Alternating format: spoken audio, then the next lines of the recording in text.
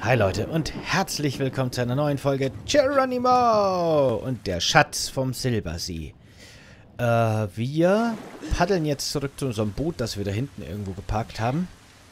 Und durchsuchen das Gebäude, das wir da gerade super snipermäßig in der letzten Folge entsnipifiziert haben. Snap! Und dann schauen wir weiter.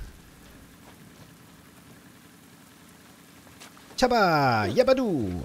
Haba! Ich finde, man muss, wenn man rumhüpft, solche Geräusche machen.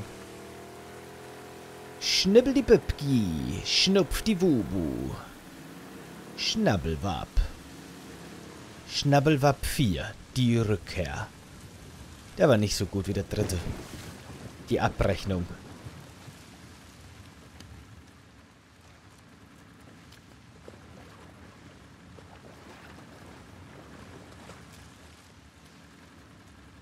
So, erstmal ein bisschen trocknen und wärmen hier. Du holst dir noch den Tod, Mädel.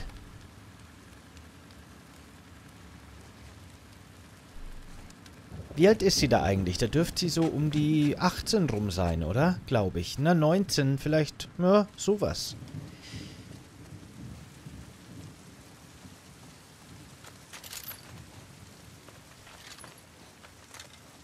Cool, ein Pfeil. Wir hatten wirklich, wir haben echt schon lang keinen Pfeil mehr ge ge ge gekriegt. Und auch keinen gecraftet. Eine Katze. This could... Da ist noch eine Katze.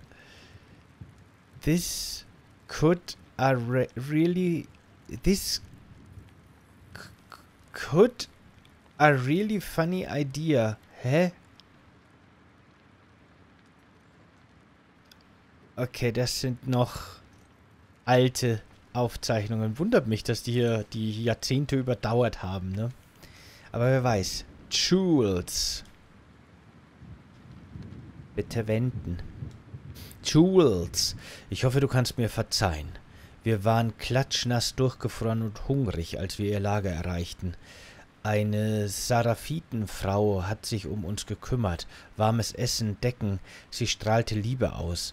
Sie hat mich so behandelt, als würde ich dazugehören. Ihr Name war Karen. Karen oder wahrscheinlich eher. Der Plan war am nächsten Morgen mit ihrem Boot nach Haven zu fahren. Dann fielen Schüsse. Karens Kopf explodierte, ihr Blut war überall. Wir liefen auseinander. Zachary wurde angeschossen. Es waren unsere Leute, zwei Wolves. Sie gingen direkt an mir vorbei. Sie dachten wohl, ich wäre ihr Gefangener. Und dann ist irgendwas in mir zerbrochen. Ich zog meine Pistole und schoss ihn von hinten in den Kopf. Zachary ist zäh. Er wird durchkommen. Wir beerdigen Karen und sparen äh, und sprachen ein Gebet für sie.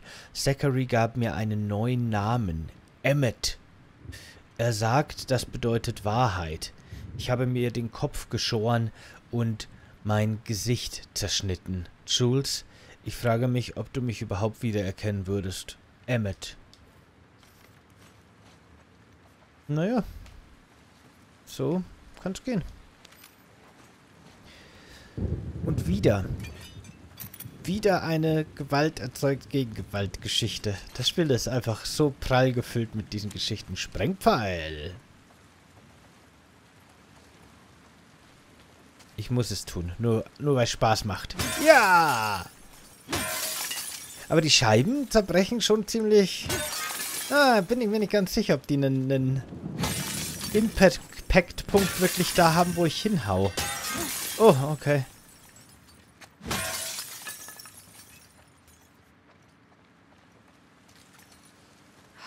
Du wieder. Du wieder. Mutter.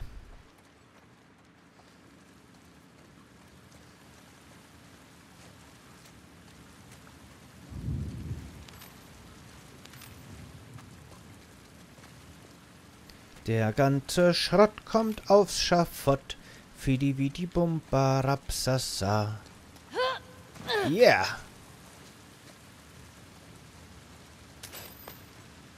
Metallschrott und Lappen. Server.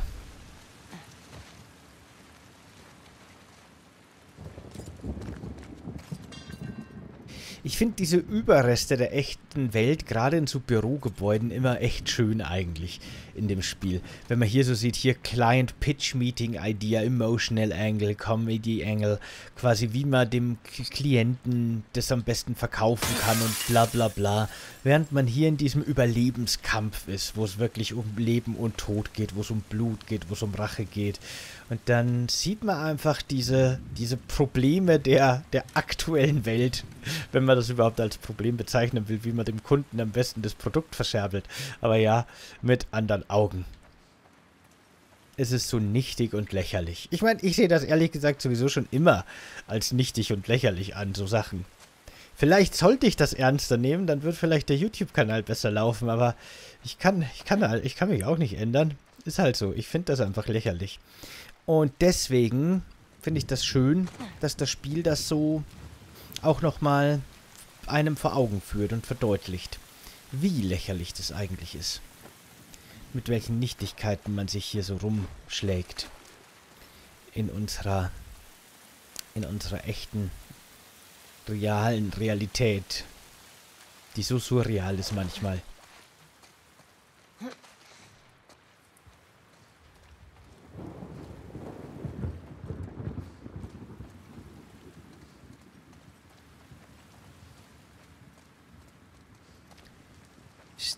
Sladi, Schnadi, Wipster. Ich glaube, wir sind fertig, oder? Ha, nice. Hätte ich gar nicht erwartet, aber nice, dass das geht, dass die kaputt gehen können. Ja, ich glaube, wir sind fertig. Nicht in unbekannte Gewässer springen. Oh, guck. Stell dir vor, sie hätte einen Kopfsprung gemacht. Wären wir jetzt einen Kopf kürzer.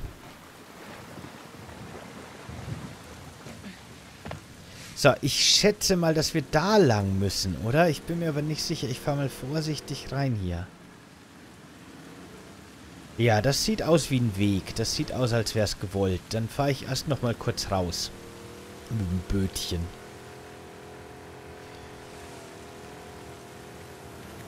Ich krieg bitte 20 frisch gebackene Bötchen. Da kann man hochklettern. Nein! Ach so, okay, doch. Passt schon. Ich dachte, ich muss vom Boot ausspringen, aber nö. Ein Stock. Flasche Ding. Kann ich was craften vielleicht? Nur ein Pfeil immerhin. Aber da war jetzt, glaube ich, keine Pfeilzutat. Nö. Trotzdem cool. Haben wir wieder Pfeile. Wieder keine Sprengpfeile benutzt gerade. Irgendwann. Irgendwann benutze ich die Sprengpfeile und dann sprenge ich die ganze Welt aus ihren Angeln. Gib mir einen Punkt, an dem ich den Detonator platzieren kann und ich sprenge die Welt aus den Angeln. Hat doch mal hier Demolition Guy gesagt.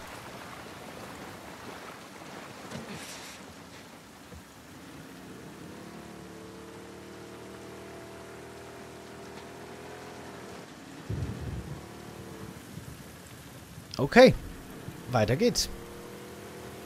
Loot-Vorgang abgeschlossen. Progressionsvorgang aktiviert.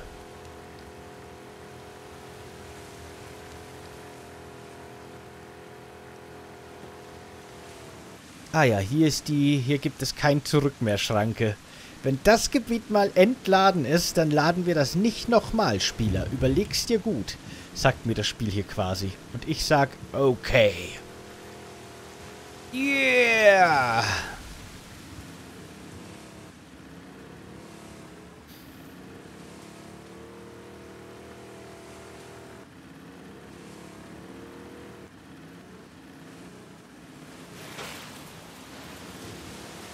Oh, ich habe mich verheddert. So. Was?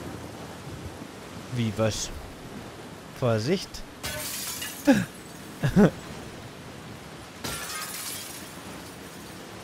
Ja, ich möchte mit Ellie nicht in die Scherben fahren. Ich glaube, das ist überaus Ja. gefährlich. Wäre auch zu einfach.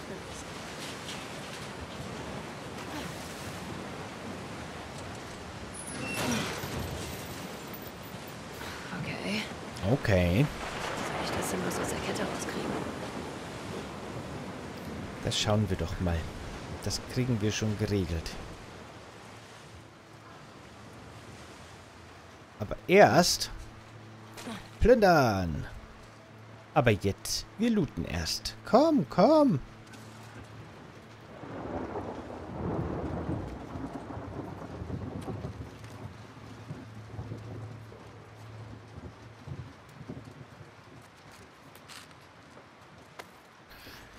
Zehn Tabletschkos waren das gerade, ne? Das ist, ich glaube, jetzt können wir hier mal... Ah, warte mal. Hier könnten wir jetzt entweder...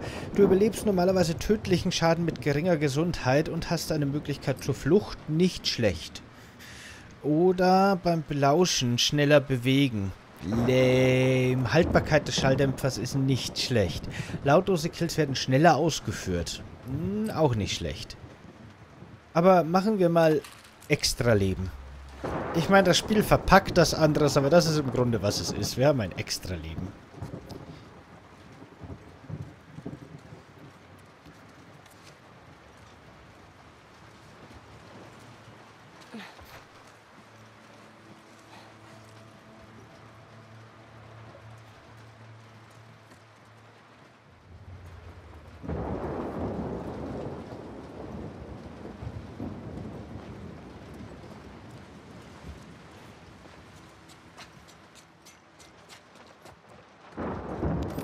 Schrott. Ich freue mich schon auf die nächste, auf die nächste Werkbank. Unter Umständen infizierter. Verflucht. Nee, kein infizierter.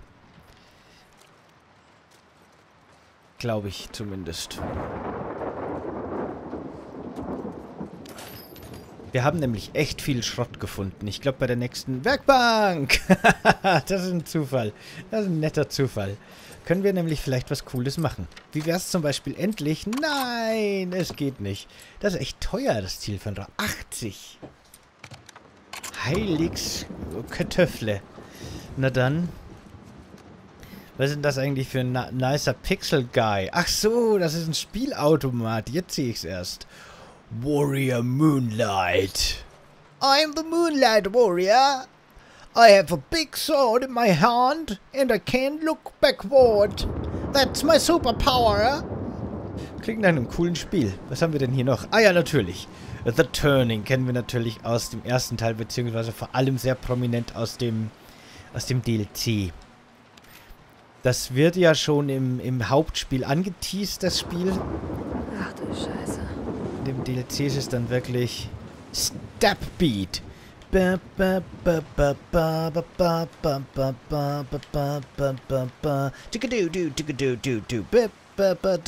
Zwei Spiele gleichzeitig.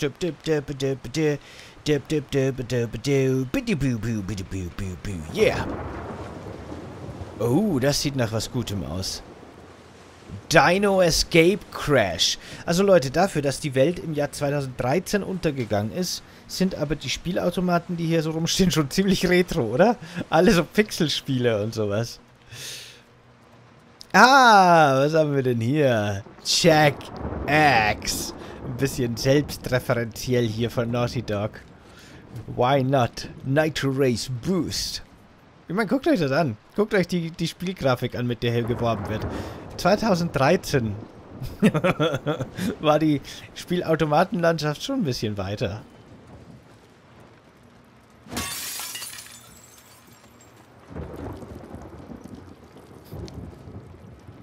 Ich weiß nicht, wie das in den USA ist, ehrlich gesagt. Aber ich glaube, hier in Europa gab es da schon nicht mehr wirklich so eine Spielhallen. Äh, oder? Klien Klientel oder, oder so, überhaupt so. Spielhallen einfach, in dem Sinne. Also Arcades meine ich jetzt damit. Na super, und hier ist es super pilzig. Ja, Bloater.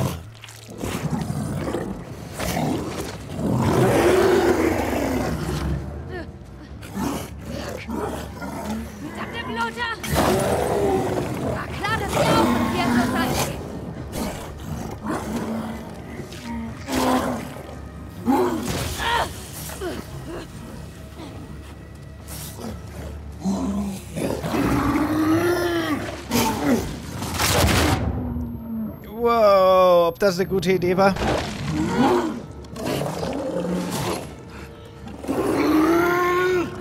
Nein, jetzt kommen auch noch Normalos. Und ich bin leider tot.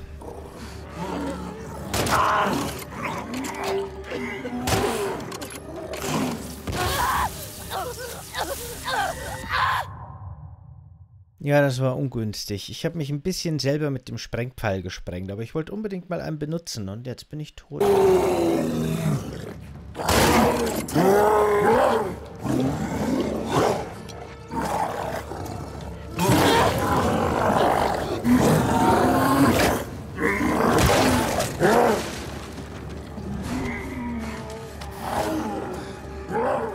Ich kann wirklich nicht gutheißen, dass der hier die ganzen Arcades zerstört.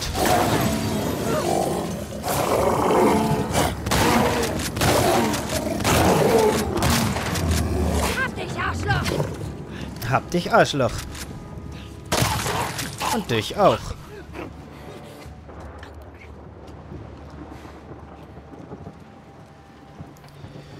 Das war aufregend.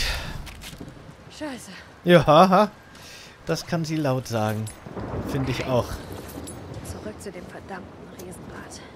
Das war nervenaufreibend. Wenn es dann letztendlich auch recht schnell ging, aber trotzdem war es erstmal ganz schön nervenaufreibend.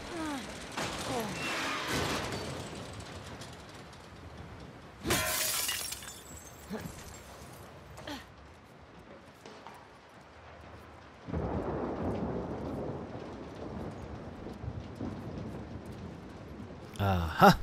Was haben wir denn hier? Äh, nix. Hallo? Ah, doch jetzt. Hat ein bisschen gedauert. Ka Ka Ka Kaz Kazak Bright. Ist bestimmt ein Böser, aber sowas von. Kazak Bright, Heimatplanet Titan. 140 Spark.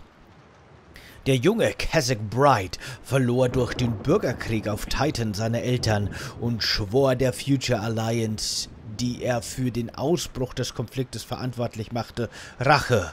Als Erwachsener wurde er ein anerkannter Kommunikationstechniker bei Spark Century 22 und entwickelte ein Quantensignalübertragungstechnologiegerät, die die Kommunikation über enorme Distanzen ermöglichte. Obwohl die Spark einen Vorteil verschaffte, erlitt man gegen die Zukunftsallianz eine Niederlage nach der anderen.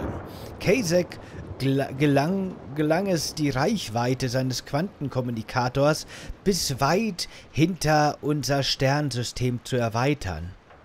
Jetzt versucht er jemanden oder etwas zu erreichen, das ihm endlich zu seiner lang ersehnten Rache verhelfen kann. Neutraler Schurke.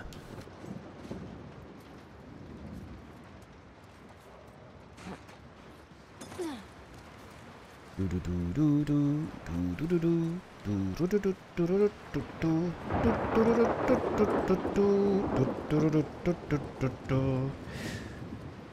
Wo war denn die nette Person, die der Herr Bloater vorher gerade verspeist hat? Mich würde interessieren, ob der noch was Nützliches bei sich trägt. Was ist denn das? Der GTA? Urban. Ja, das ist ziemlich GTA Urban. Urban Rush. Ach so. Dann ist es wahrscheinlich eher ein Rennspiel. Aber es sieht sehr nach GTA Artwork aus irgendwie. Meteor Battle. Moment, da steht noch was. Meteor Battles Saga. Das sind sehr realistische Videospielnamen. Das muss man schon sagen. Das kann ich nicht lesen. Metal... Metal... Racing. Habe ich da gerade ein Monster gehört? Mir war so, als hätte ich da gerade so schnaufen und dann irgendwas kaputt gehen gehört.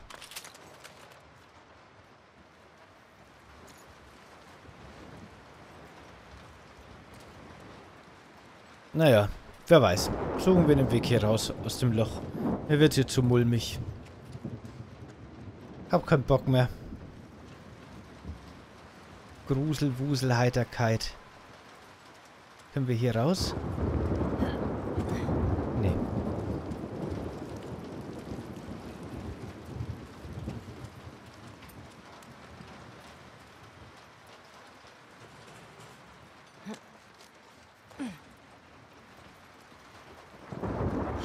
Auf die Automaten können wir auch nicht. Hier ging es aber nicht weiter, oder? Ach so, doch, hier geht's weiter. Okay. Na dann. Alles klar. Wunderbar. Ist das ein riesiger gelber Vogel, der irgendwie... Ich kann es nicht anders sagen. Kotklumpen hinterherjagt. W Kackwürstchen einfach. Ne? Irgendwie schon. Nice. Raiden! Was ist denn hier los? Mortal Kombat.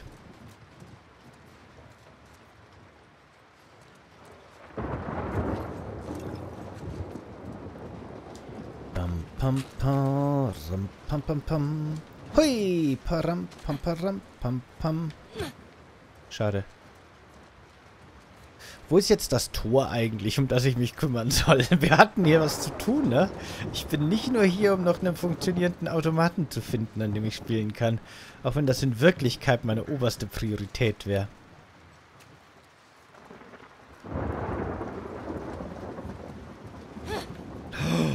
Oh Gott, das tut direkt weh, wenn man das sieht irgendwie. oh Gott. Ich dachte, das zerbricht jetzt irgendwie und macht klirr und zerdeppert. Aber diese Dellen tun mir richtig jetzt im Herzen weh. Weil ich mir vorstelle, dass das meinem Fernseher passiert. Meinem geliebten, unschuldigen kleinen Fernseher. Die Reihenfolge, wenn es um Empathie geht, sind bei mir Hunde, Fernseher, Menschen. Zumindest in dem Spiel.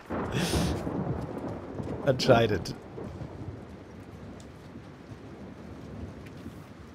Schon wieder eine Nachricht für Jules.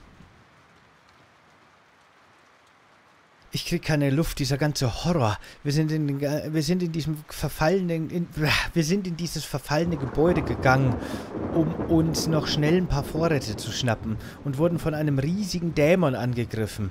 Er griff nach mir, aber Zachary daz sprang dazwischen und attackierte ihn mit einem Beil.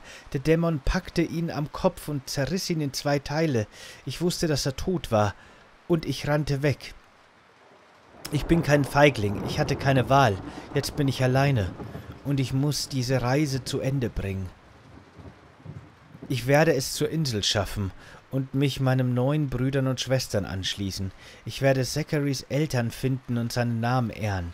Jules, ich gehe davon aus, dass, ich, dass sich unsere Wege nie wieder kreuzen werden. Ich werde für deine Seele beten. Leb wohl, mein Freund Emmet. Aber dieser Emmet ist schon sehr schnell zu so einem Sektenheini geworden, oder? Dass der jetzt hier schon die infizierten Dämon nennt und irgendwie dann irgendwie betet und so. Wie lange war denn der mit dem anderen unterwegs? Hat, hat die einen super Crashkurs bekommen? Wie werde ich zum zum Scar-Heini in 24 Stunden.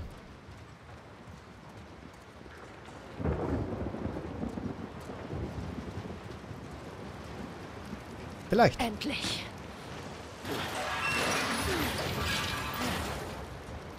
So.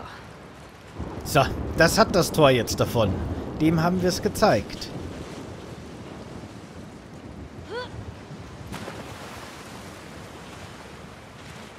Ach so, Quatsch, wartet mal. Ich muss wahrscheinlich erst noch das Tor öffnen. Immer ist irgendwas, ne? Schlimm.